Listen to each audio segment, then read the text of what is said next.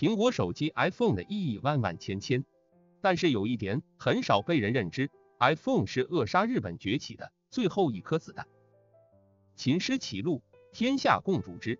苹果手机横空出世，打破了固化板结的美日欧产业格局，开启了电子工业的春秋战国乱世。一时间，韩国、中国台湾、中国大陆群雄并起，中国可能是最大的获益者。苹果再一次从中国当代史中穿行而过。过往，它见证了联想电脑的苟安和掉队，倾倒了日本的国运，占满了中国的奋发。中国制造得以杀出重围，更上一层楼。中国互联网企业得以在数字经济里一马当先，也隐藏着路径依赖的重大隐患。相比于苹果手机 iPhone 挤牙膏式的创新，苹果最大的价值是为观察国际社会变迁提供了一个管中窥豹的视角。四年前，特朗普得以当选美国总统，苹果就是那股极端情绪的一颗种子。因为到了苹果这一代，一切都变了。最伟大的企业在开曼注册公司，去爱尔兰报税，到中国生产。美国底层突然发现，轰轰烈烈的全球化，获益最多的是这些跨国企业。但是美国的底层呢？做迷茫时代的明白人，我是您的专属伴读，原媒体朗读者雪山。今天的木鱼见闻。我们一起来听一公子撰写的网络热文：苹果拨弄了中美日三国的命运。乔布斯一生没有来过中国，距离来中国最近的一次是一九八五年。由于八统的限制，全称为巴黎统筹委员会，主要内容是限制对社会主义阵营国家的技术品出口，电脑这类高精技术产品不能卖给中国，所以。尽管七十年代乔布斯在美国已经是家喻户晓的时代明星，但是在中国，哪怕到了二十一世纪初，乔布斯还远不如乔峰或者陈佩斯有名。一九八五年，经过层层申请，Apple 二电脑终于获得了许可，可以向中国的教育机构出口。中方盛情邀请公司创始人乔布斯来北京参加签字典礼。乔布斯拒绝了，随便找了一个理由，但是真实的原因是，他正在准备一场政变，干掉公司总裁斯卡利。斯卡利还是两年前乔布斯自己三顾茅庐请来的。乔布斯成名太早，而苹果公司成长太快，二十多岁的创始人驾驭不了庞大的商业帝国，苹果需要一位老成谋国的总裁。在百事可乐做副总裁的斯卡利，是那一年美国商界最红的营销大师。自古红蓝不两立，凭什么今天百事可乐能和可口可乐分庭抗礼？就是因为斯卡利。在八十年代初，世界只有一种红色的可乐，可口可乐有着更璀璨的历史。二战中，美国大兵到哪里，可口可乐的工厂就开到哪里。斯卡利。在名不见经传的百事可乐，发动了一场著名战役——百事挑战，邀请路人盲喝两种可乐，再问他哪个更好喝。广告中每次被选中的都是百事可乐，这广告充满争议。后来，斯卡利自己被媒体逼着参与了一场挑战，结果堂堂百事副总裁盲猜的口感更好的可乐是可口可乐。但是，谁让我们生活在一个……热度大于真相的时代，配合简单粗暴的疯狂营销，百事可乐迎头赶上，在巨头垄断的战场，硬生生杀出一条血路，最终把傲慢的垄断者按在地上胖揍。这听起来多热血！八十年代，乔布斯最大的愿景是干掉电脑的发明者，行业的绝对老大 IBM，因此十分期待斯卡利来苹果复制一番百事可乐的逆袭。为此，乔布斯创造了当今世界最蛊惑的挖墙脚告白：你是想卖一辈子糖水，还是跟我一起改变世界？斯卡利加盟。紧接着，苹果发布经典的1984广告，把 IBM 比喻为乔治·奥威尔笔下奴役人类的老大哥。苹果新推出的 Mac 电脑大获成功，苹果的昌盛到达第一个顶峰。金庸在《书剑恩仇录》中有这么一句：“情深不寿，强极则辱。”深情款款的热恋都很短命。很快，乔布斯和斯卡利的矛盾就闹大了。一九八五年，乔布斯想好了，利用一下中国，让身为总裁的斯卡利去中国签合同，趁斯卡利只身在异国，联系不便，趁机在董事会发动政变，夺回自己的苹果。只可惜人算不如天算，斯卡利在最后一刻得到政变的消息，没有登上去往中国的飞机，而是出人意料的出现在苹果办公室，顺利反杀乔布斯。于是，刚刚三十岁的乔布斯被撸掉了所有实权，成了光杆司令，落寞的离开了自己亲手创办的公司。逢此大耻，乔布斯又生气又难过，只留一股，卖光所有苹果的股票。苹果电脑终于来到中国，但是并没有什么掀起在美国一样的狂热。中国尚且贫弱，昂贵的苹果电脑只能成为高干子弟家中的摆设。九十年代，中国电脑市场的第一名是联想，第十万台联想电脑下线，柳传志把它送给了当时的国民偶像数学家陈景润，一时风光无两。柳传志为联想立下的战略叫做“贸工技”，技术被排放在贸易、销售和工厂生产之后，当身处顺境却没有为未来铺路，是联想最大的败笔。而人无近忧，必有远虑。九十年代的苹果电脑不能颠覆联想在中国的苟安，甚至苹果心心念念要干翻的 IBM 个人电脑，也在二零零四年被中国联想收购。一时间，我们有了幻觉，一个中国电子巨人马上就要站起来了，真威风啊！可是二十年后，电脑、手机等多屏联动，新战场的战国比九十年代卖电脑机器要丰厚几百倍。世界电子产业群雄并起，而此时能代表中国和苹果扳扳手腕的是华为，后面或许还跟着小米，但是已经没人再提联想了。联想意气风发的九十年代，恰恰是苹果公司的低谷，甩掉乔布斯，斯卡利独自掌舵，苹果的产品线变得又多又杂，样样都搞，但是没一样精品，营销越玩越溜，但是产品力。越来越差，和每家末日的大公司一样。九十年代的苹果一边吃老本，一边兜售廉价的情怀。在世界电子行业里，苹果是唯一一个又生产电脑机器，又自己做操作系统，好一位勇士，硬的软的都捏在手里。西边和戴尔、惠普、IBM 打仗，东边单挑微软 Windows 操作系统，但随着操作系统。战略完败给微软，苹果的疆域已经无险可守，到了崩塌边缘。到了这时候，流亡十二年的乔布斯被请了回来。第一件事是抓队伍，乔布斯召回所有正在休假的人，为已经安逸自满的苹果重整公司文化。第二件事是找粮草，具体点说，是协助 CEO 阿梅里奥忽悠微软的比尔盖茨给点钱。会议室里的比尔盖茨内心欢愉。从二十多岁开始，盖茨和乔布斯就一时瑜亮，两个人打了无数的嘴炮和热战。而此时此刻，微软实实在在的干翻了苹果。你看，手下败将正在向自己求助。傲娇的乔布斯还是只会那套改变世界的说辞。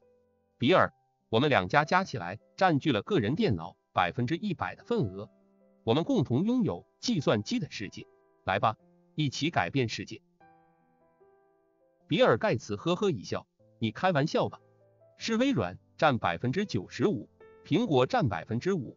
凭借乔布斯的销售鬼才，微软最终投资苹果一点五亿美元，同时继续为 Mac 电脑开发 Office 软件。作为交换，苹果向微软开放专利。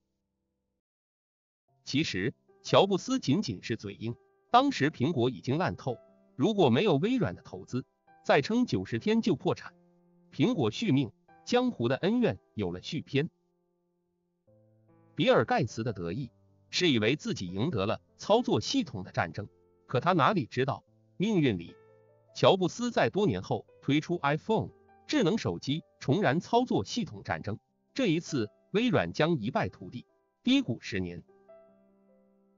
比尔盖茨吃亏在不读党史。一九四九年，毛主席就点明了：宜将胜勇追穷寇，不可沽名学霸王。天若有情天亦老，人间正道是沧桑。三，堂堂苹果，个人电脑的发明人，硅谷骄子，怎么会沦落到要破产？世人往往归责于斯卡利等人领导无方，但其实是乔布斯播下的种子。为了造最好的产品。乔布斯要求控制一切，软件上自己做操作系统，硬件上工厂也必须是自己的。八十年代，美国的戴尔、惠普，日本的索尼、康佳，欧洲的飞利浦、西门子，整个世界电子产业都在有步骤的向中国迁移工厂。但乔布斯不喜欢潮流，而是喜欢 follow your heart，逆势而为，花大手笔，在美国加利福尼亚。科罗拉多和德克萨斯投建苹果工厂，其中最近的工厂就在苹果总部对面，号称未来工厂。美国工人薪资多高啊？这怎么办？乔布斯认为不是问题，未来工厂不需要工人，全部由机器完成生产。试想，机器全面代替人工，在今天都没有成型，更不要说八十年代。而伴随硅谷起势，租金暴涨。生活成本高不可攀，未来工厂想转变策略，大量招聘工人，但是已经不可能了。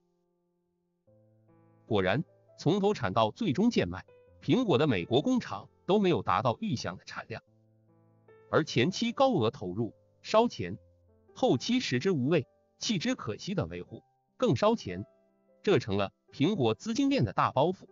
更糟糕的是，由于产能极度不稳定。苹果生产永远在两个极端之间摇摆，要么库存积压，要么卖光了但供不上货。总之一团糟。纵观苹果，可以说成也乔布斯，败也乔布斯。他超越时代的理解力，追求完美的决心，成就了苹果的独一无二。但同时，他总将直觉置于事实之上，我行我素，做过很多糟糕的决定，几乎毁了苹果。自古为尊者贵，随着乔布斯被神化，他的那些败笔被我们有意的忽略和美化。比如导致乔布斯英年早逝的癌症，其实发现的很早，专业医生说只要手术切除一线肿瘤，大概率能痊愈。但是乔布斯固执于不想自己的身体被切开，直觉告诉他医生不靠谱，还有很多方法可以治疗。为此。他尝试了严格素食、针刺、草药，甚至还请过巫术灵媒。最终不作死就不会死，肿瘤被成功拖成了绝症。我们这颗星球上最耀眼的科技明星，偏偏死于对科学的排斥，这多么的讽刺啊！其实乔布斯最打动我们的，不是他神的部分，而恰恰是他人的部分。他和你我一样。少年得志而傲娇，刚愎自用而犯错，经历现实的头破血流，最终承认了自己的不足，知错就改。比如回归后的乔布斯，并没有去算十二年前的老账，而是和赶走自己的斯卡利拥抱和解，并再次共事。再比如认识到自己真的完全不懂供应链，通过猎头招聘了一个叫做库克 Tim Cook 的家伙。库克来苹果的使命是改革苹果供应链。苹果最大的短板，库克很有气魄。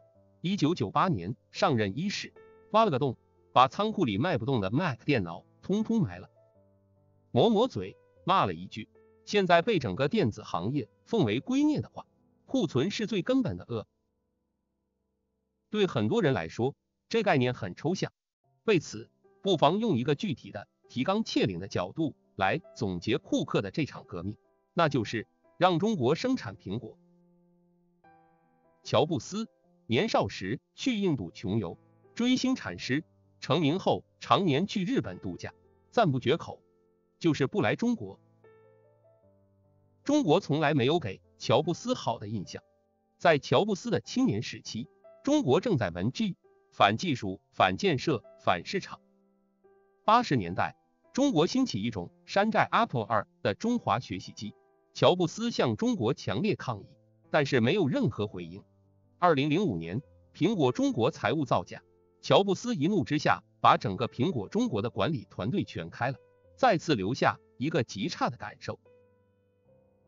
Apple 二是最早的个人电脑，图形界面、再造操作系统，皮克斯几乎垄断了奥斯卡动画奖、iPod 和 iTunes，把整个世界音乐行业推翻重组。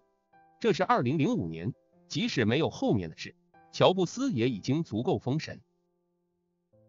这一年，乔布斯出席斯坦福大学毕业典礼，一场演讲，金句不断：不要被信条所惑，活在别人思考的结果里。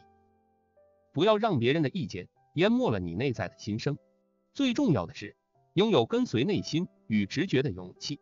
以及结尾那句最著名的 “Stay hungry, stay foolish”，保持饥饿，保持愚蠢。其实，当时的乔布斯已经病入膏肓，伴随欢呼和掌声，癌细胞正在不受控制的疯狂扩散。这辆传奇的列车正缓缓驶向自己的终点，但是。乔布斯却在人生旅程的尾段演绎出一曲浓墨重彩的最强音。就在斯坦福演讲后不久，乔布斯的办公室迎来一位同样擅长演讲的中国男人马云。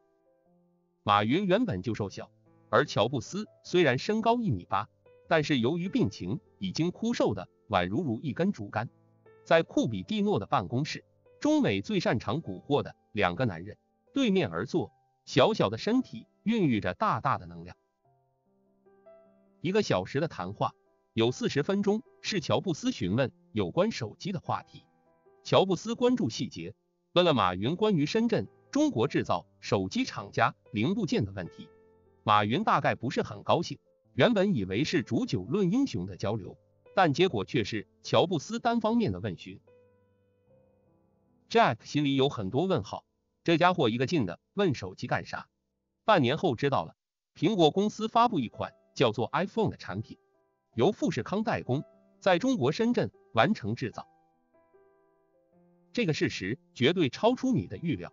郭台铭和乔布斯同一年创业，但在二零零七年，富士康的收入比苹果还高，是苹果的三倍，华为的二点五倍。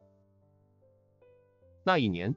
五十七岁郭台铭的绯闻女友是刘嘉玲，而富士康的年会嘉宾却是三十三岁的林志玲。在和郭台铭跳完一段贴身热舞后，林志玲拿起一条丝巾，变了个魔术助兴。话筒给到郭台铭，郭台铭说，如果他能从林志玲身上把丝巾摸出来，那就当场掏两百万给员工抽奖。现场那个沸腾，你肯定可以想象。于是灯光调暗。郭台铭的手缓缓伸出。几个月后，马云登上美国杂志《财富》的封面。阿里巴巴香港上市。郭台铭和马云不算投机，但不影响他掏二点七一六亿港元认购阿里巴巴百分之二点九的股份。阿里历经香港退市、美国上市，在香港上市，郭台铭一直没动这笔投资。最近几年，富士康所在的代工行业狼烟四起。尤其是中国大陆崛起的新势力层出不穷，郭台铭到了要用钱的时候，想起对马云的这笔投资，二零一九、二零二零年分两次卖掉，十二年里赚了三十倍。三个男人正好代表了三个封闭的系统，在各自的产业里摧朽拉枯。富士康是一个容纳几十几百万人的封闭工厂，明明位于深圳。郑州、上海这样的大城市，但工人的生活和大城市的繁花似锦完全隔离，只和机器相伴，在生产线上周而复始重复同一个动作。阿里帝国是一个高效的封闭的电商系统，屏蔽其他搜索引擎，支付用支付宝，物流靠菜鸟和自己把控的通达，合作的流量入口只能是草原，不能是森林，对外投资不控不投。苹果是一个终端加 iOS 的封闭系统，硬件软件一手抓，手机利润很丰厚，Store 抽成躺着赚钱。三个极富时代特征的男人和他们背后那一套封闭系统，在二零零七年短暂交汇，在各自往前迎接自己的命运。iPhone 的意义万万千千，但是有一点很少被人认知：iPhone 是扼杀日本崛起的最后一颗子弹。在世界舞台，日本最骄傲的产业有两个：汽车工业和电子工业。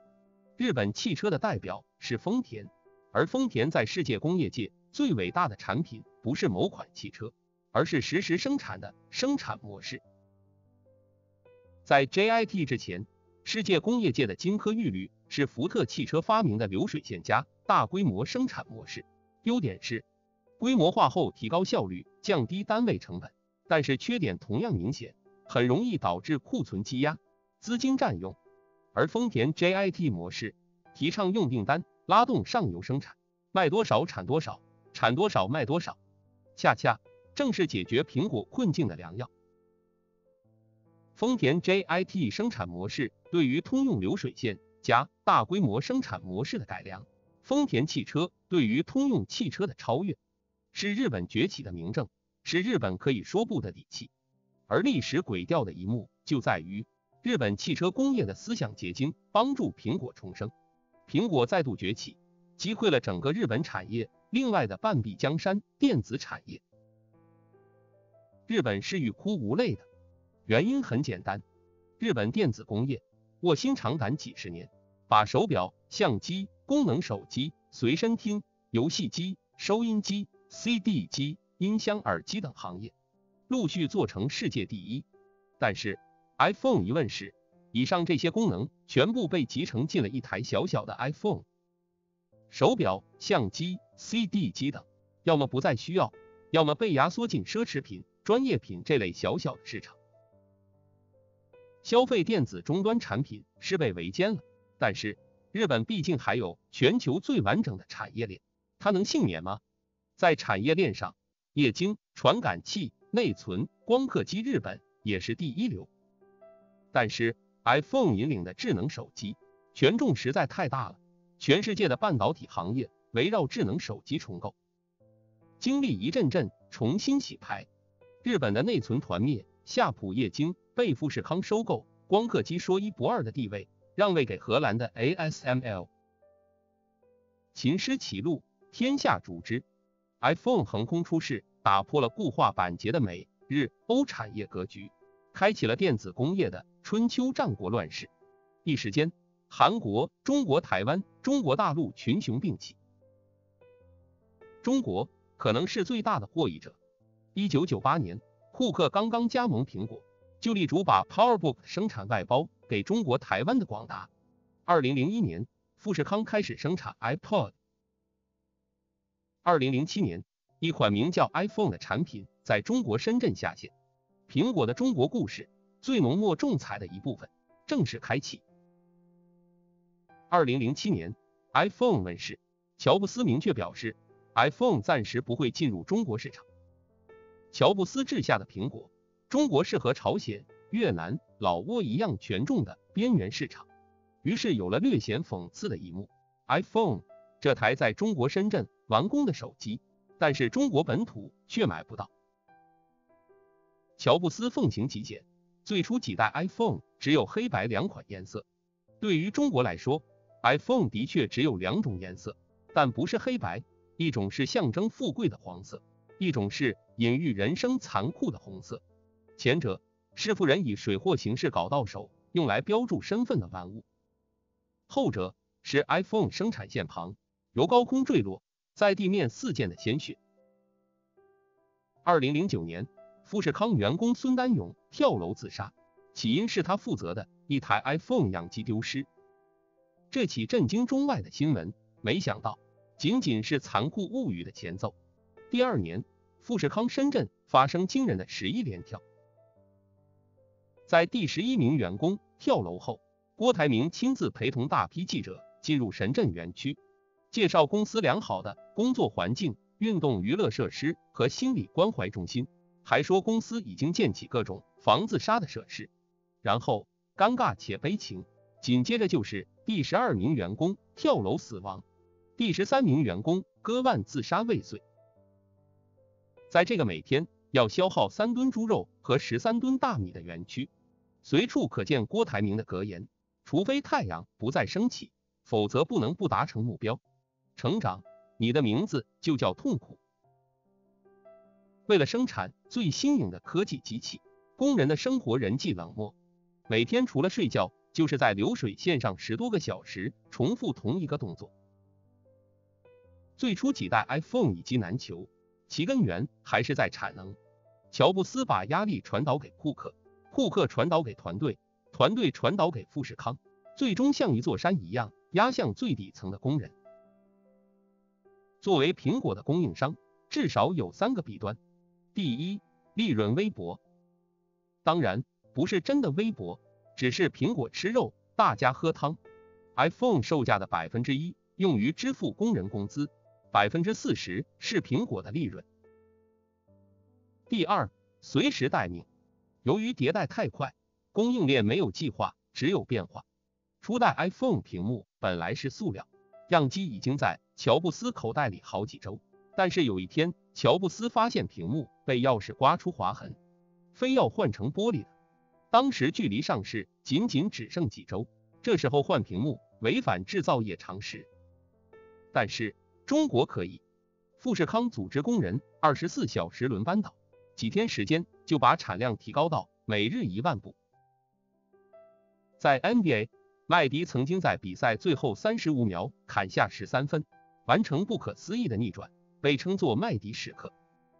在苹果，类似的麦迪时刻数不胜数，每发生一次，就加深一份库克对于压住中国的决心。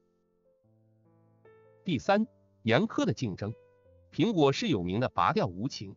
自古资本无情，戏子无义。苹果的标准叫做谁最行，谁最能干，我就和谁好。智能手机迭代越来越快，每年都有新的热点。苹果经常会授意合作伙伴赶紧投资新的技术，造新的工厂和生产线。但是当新工厂刚造完，苹果突然改主意，放弃这项技术，又或者和别人好上了。日本 GTAT 最初为 iPhone 六做蓝宝石屏幕，一度亲密无间。当 iPhone 放弃蓝宝石，GTAT 直接破产。s h i k o 曾经为苹果生产小型聚焦驱动器。苹果示意新建一个干净的车间，买新设备，听上去显然是让 s h i k o 为生产下一代手机 iPhone 4S 做准备。但是工厂落成。苹果却改了主意，选择和另一家厂家 Alpine 合作。苹果是不是只欺负小厂？不是的，一视同仁。有过类似经历的还有夏普、LG、东芝、三星。《大话西游》大圣娶亲，李铁扇公主对至尊宝说过：“以前陪我看月亮的时候，叫人家小甜甜；现在新人胜旧人，叫人家牛夫人。”严苛的质量标准。极致的成本控制，忠诚的投资跟进，三百六十五天，二十四小时待命，同时以这些标准去全世界寻找供应商。你觉得被筛选出的企业会集中在哪里？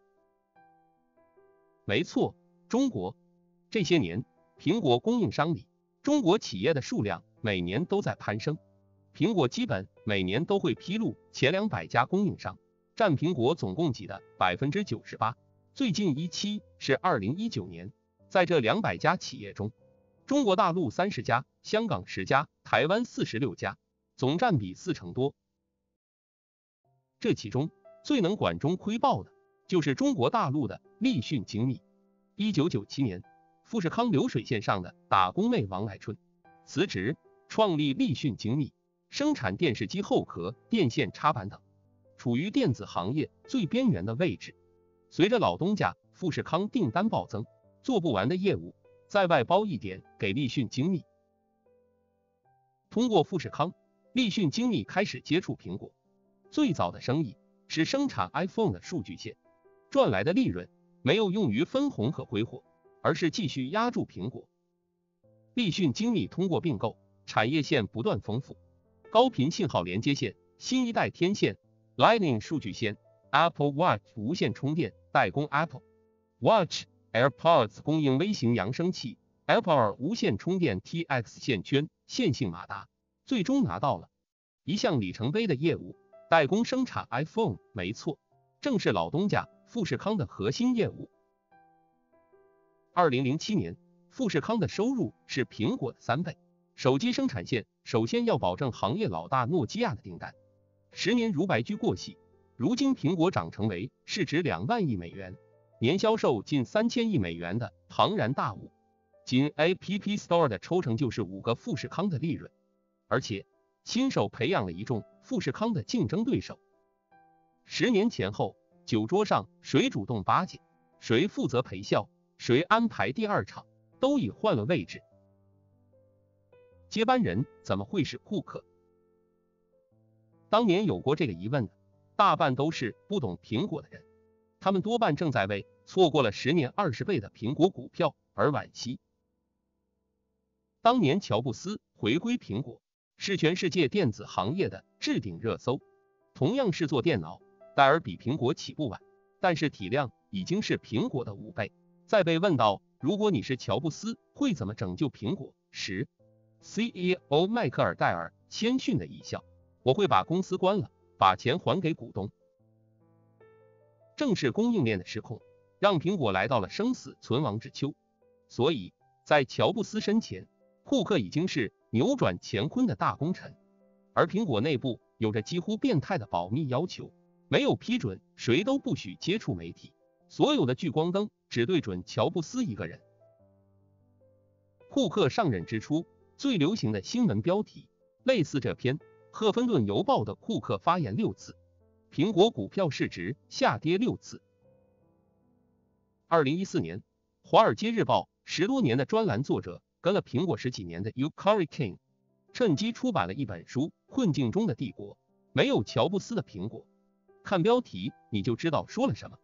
这次库克忍不住了，平时温文尔雅大叔很生气，少见的出来对人。即使到了今天，苹果每一次发布会之后，还是鲜有赞誉。更多的是陈词滥调的批评和质疑，但是以上这些高论无一例外被狠狠打脸。库克掌权的十年，创造了一项商业奇观：苹果一直被看衰，却一直在增长，市值十年涨了二十倍，如今现金就有两三千亿美元，这是什么概念？和美国政府掌握的现金一样多。知道什么叫富可敌国了吧？常看到。这样的新闻标题：苹果投资十亿美元建设 XX 工厂。文章大谈苹果战略转变，重心转移。显然，这类文章不值一读，因为当你坐拥两三千亿的现金储备，十亿也就是一天的利息，哪里到了需要谈战略的地步？库克看上去和蔼，其实是一个内心坚定的狠角色。上任之初。正赶上 Siri 和苹果地图的一败涂地，前者不仅反应超级慢，而且总是帮倒忙，后者更是笑话，经常引导用户原地转圈，然后趁你不注意把你导航到河里。Siri 和苹果地图的失败，是乔布斯之后苹果最大的低谷，唱衰苹果和看低库克的声浪到达顶峰。但是这里恰恰是库克高超的手腕。也许库克故意允许这两个项目失败。Siri 和苹果地图的负责人名叫斯科特·福斯托，地位比库克还老，在 Next 就跟着乔布斯打天下，外号小乔布斯。一段时间总有苹果员工无意或故意的泄露给媒体这样一个信息：福斯托会是乔布斯的接班人。当乔布斯最终钦定库克，斯科特·福斯托显然是不服的，但是资历老。势力强，库克根本动不了他，因此只有出现 Siri 和苹果地图这样严重的失败，公司才能达成共识。苹果很危险，到了必须需要改变的时候。这时候，对内，库克坚持要福斯托为失败负责，卷铺盖滚蛋；对外，库克亲自道歉，说是自己的责任。看到 CEO 主动挺身挡住喷子的口水。员工很受感动，原本支持福斯托的势力纷纷倒戈。就这样，库克干掉了最大的政敌，实现了攘外必先安内。乔布斯也搞政变，利用中国行的机会设局，最终走漏风声，被斯卡利反杀。对比之下，库克的手腕显然更高超，对企业的伤害也很小。有了这样的政治基础，库克时代缓缓展开。上任后出国的第一站是中国。库克到底有没有继承乔布斯呢？可以说没有继承。乔布斯定的很多原则，比如要极简，不要很多配色，不要大屏幕，让用户用手操作，不要笔，这些都被库克一一推翻。但是也可以说继承了。乔布斯在斯坦福大学演讲中说：“不要让别人的意见淹没你，听从你自己内心的声音。”这一点，库克就是勇敢的实践者。外界的声音是，乔布斯都看不上中国市场，中国那么落后，中国人收入那么低，怎么有钱买五千元起步的 iPhone 呢？库克力排众议，执意压住中国市场。果然，中国富人的财富爆发，中产的消费能力，独特的礼品需要都被大大大大的低估。中国一直是苹果增长最强劲的市场，几乎没费什么力，就顺理成章的成长为苹果的前三市场。因为众所周知的原因，西方科技公司想在中国立足不是那么容易。数一数美国五大科技公司，苹果、Google、亚马逊、微软、Facebook，如今安在哉？在中国市场境遇几何？大家有目共睹，苹果是唯一混得好的。决定命运的时刻在七年前，二零一三年央视三幺五晚会炮轰苹果，随后一连串跟进的扫射。比如人民日报的文章打掉苹果无与伦比的傲慢，在中国有足够生活经验的人都知道这意味着什么。事实上，这才是苹果最惊险的时刻。但是面对这样的惊吓和敲打，库克展现出超强的适应能力，不仅化险为夷，而且入乡随俗。从此中国来的更勤了。库克造访中南海至少五次以上。拜见多位副总理、数不清的书记、市长，上到三大运营商的董事长，下到富士康和立讯精密的女工，库克都能谈笑风生。去故宫参观，做客张一鸣在字节跳动的办公室，和王兴吃生煎，坐柳青亲自叫的专车，在投资滴滴投资十亿美金，连欧佛都不忘亲切互动。向资本和市场媚俗是有代价的。这就是库克最应该被批评的地方。在他的领导下，苹果不再颠覆，不再创新，越来越甘于沦为一台印钱的机器。相比于 iPhone 挤牙膏式的创新，苹果最大的价值是为观察国际社会变迁提供了一个管中窥豹的视角。四年前，特朗普得以当选美国总统，苹果就是那股极端情绪的一颗种子。硅谷之前，美国最伟大的企业在底特律，是通用、福特。全球化如火如荼，生产线开动，创造大量工作岗位。只要你愿意踏踏实实上班，做一个工人，就可以成为中产阶级。这就是美国梦，那是美国最骄傲的时刻。通用、福特的壮大和美国的强大，美国人收入的提高是同步的。但是到了苹果这一代。一切都变了。最伟大的企业在开曼注册公司，去爱尔兰报税，到中国生产。美国底层突然发现，轰轰烈烈的全球化，获益最多的是这些跨国企业。但是美国的底层呢？苹果、微软、亚马逊的市值十年涨了二十倍，但是这二十年，美国工人的工资扣除膨胀几乎没有增长，而工人的工作岗位却越来越少。美国很希望自己最伟大的企业做出表率，把工厂搬回去。苹果一度是特朗普的终点整治对象，再不回美国建工厂，就给你征很重很重的税。前白宫首席经济顾问 Larry Kudlow 号召把工厂从中国迁回美国，所有支出美国政府给予百分之一百的报销。其实十年前，奥巴马总统就向乔布斯发出过。一模一样的请求，乔布斯觉得很为难，原因是美国没有足够的工人和工程师。对比之下，十年后，除了勤奋付出的工人，海量廉价的工程师，中国供应链成长的更健全了。电子产品每年出新款，十二个月当中，研发、设计、生产每个环节都在和时间赛跑。苹果常常今天给方案，供应商就要在四十八小时内交出样品，在这四十八个小时内。供应商要拿着图纸和工程师开会，去下一层级的供应商处敲定原料，打出模具，选定工艺，产出样品。每一个环节都需要下一级供应商做同样内容的支持。苹果往下形成一个有点倒面的树根状结构，这叫做苹果供应链。这当中凡是有对接的两家企业，物理距离不能太远，最好保持长期合作。有着对苹果标准的一致理解，制造业已经在全球范围内发生三次迁徙，从欧美到日本，从日本到台港韩新亚洲四小龙，再从四小龙到中国大陆，接下来向成本更低的东南亚迁徙是大势所趋。但是这两年制造业逃离中国的进程远比想象的慢，一来是因为中国基础设施强。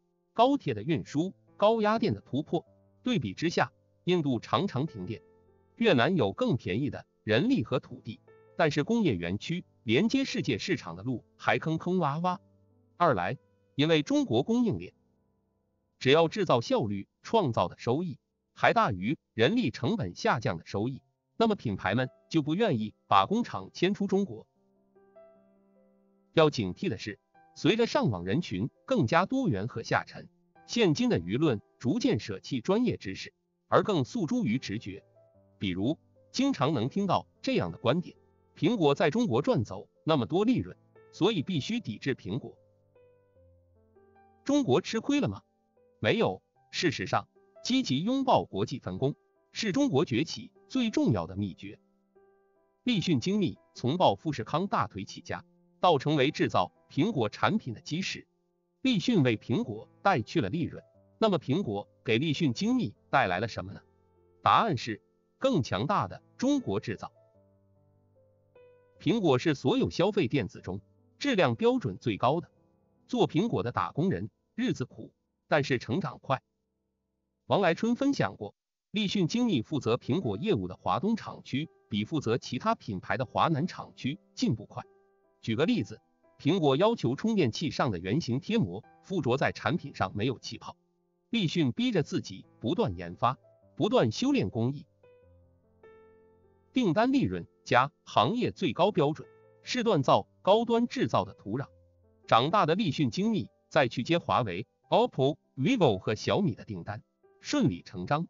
目前，立讯精密四千亿市值，已经有一半的收入。来自苹果以外的电子品牌。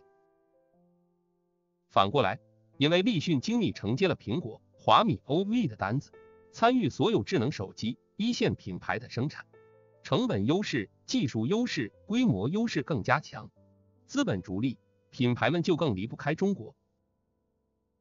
当年孟晚舟被拍到用 iPad，伤了一众爱国粉的心，任正非亲自出来解释，他们家。有很多苹果产品，我们还要向苹果学习。用什么牌子的手机和爱不爱国没有关系。的确，那些喜欢给别人的消费扣上爱国帽子的人，那些阻碍中国建立一个公平、开放、有竞争的市场的人，才是这个国家最大的蛀虫。这才是商业的本质，逐利为本。谁想掩盖这一点，谁就是骗子。